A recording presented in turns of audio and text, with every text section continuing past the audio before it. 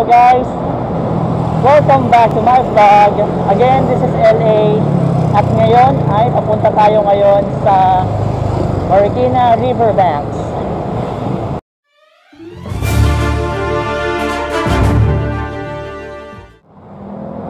So guys, kung napanood yung last vlog ko na nasa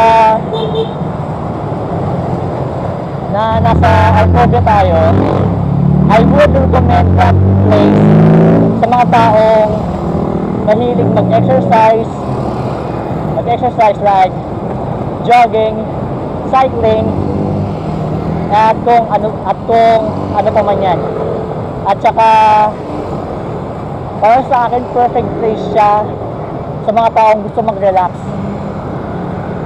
Sa mga taong limitado ang oras para mamasyal. So, kung kayo'y magugutom naman, may mga kainan naman doon like McDonald's, Popeyes, tapos may mga food truck din like Tokyo Tokyo. So, I would recommend that place. Panalo.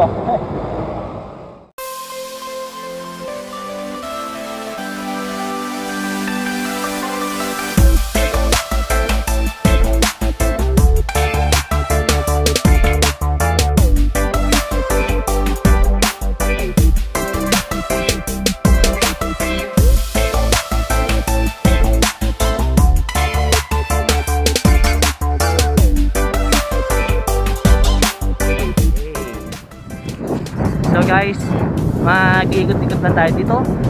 So, tignan natin kung anong bago dito at let's see kung ano ang pwede natin kainan sa mga ganitong oras. Lalo na pag weekends, ay, I mean weekdays. So guys, officially touchdown na tayo dito sa Marikina Riverbanks Center.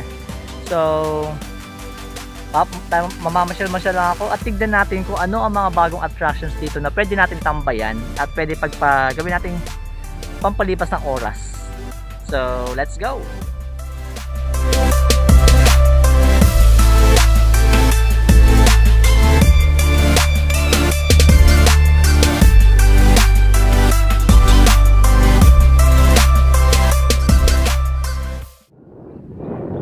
Tambayan din ito Marikina River, Marikina River Banks ah, kasi ano eh, mapuno, open area, at definitely malaki ang space.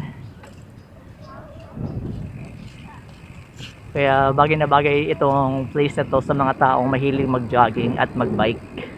Kabilaan to, itong side na to, itong dinadaanan natin, at doon sa kabila.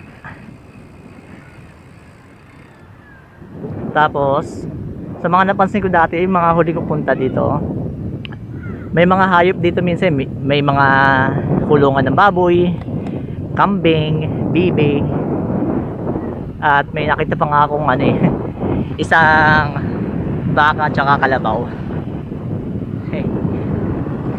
Wala lang, gusto kong sabihin, ganda ng view, maisan, panalo.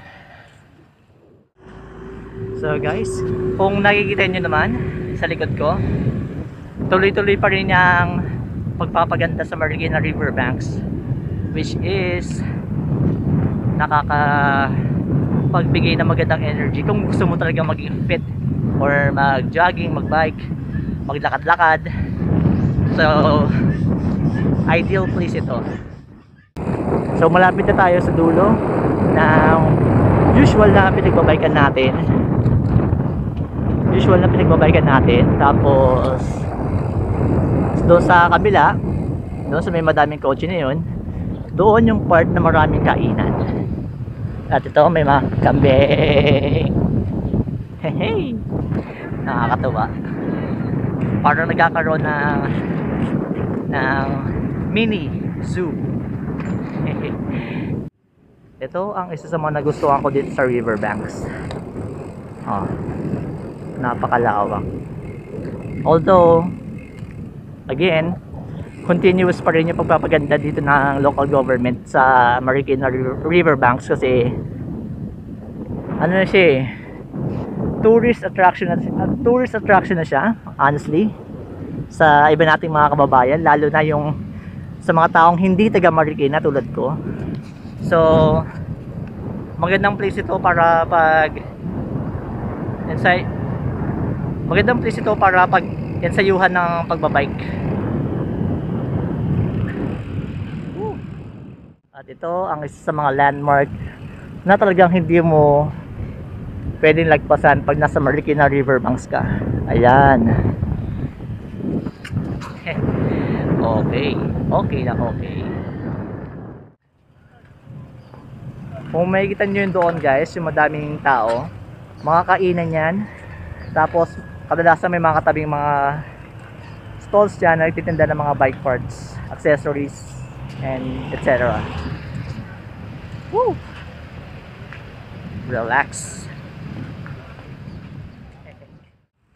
Yes. Ang daming kainan dito. Dito ang paborito kong kainan. Medyo pricey pero okay lang.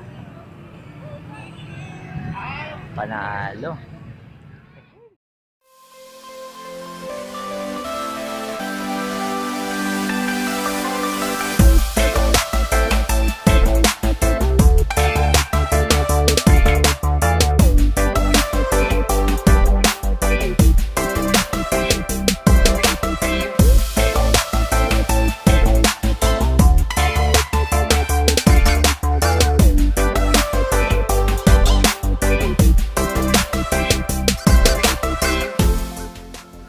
Bicycle friendly city?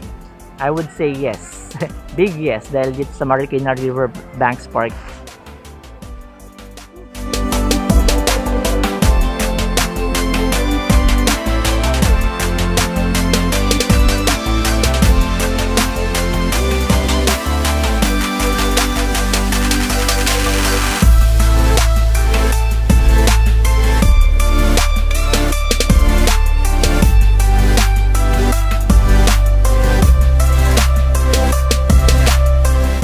Siguro ito na yung last lap, last lap na natin kasi baka umulan.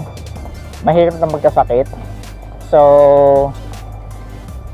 ride na natin to, paakyat. Then, direct na uwi na tayo. Paano ba mag-closing? so again guys, if you like my video, please do consider subscribing to my YouTube channel, LA Ocampo Bike Vlogs, para sa mas maraming gala video. Peace! I'm out! Bye-bye!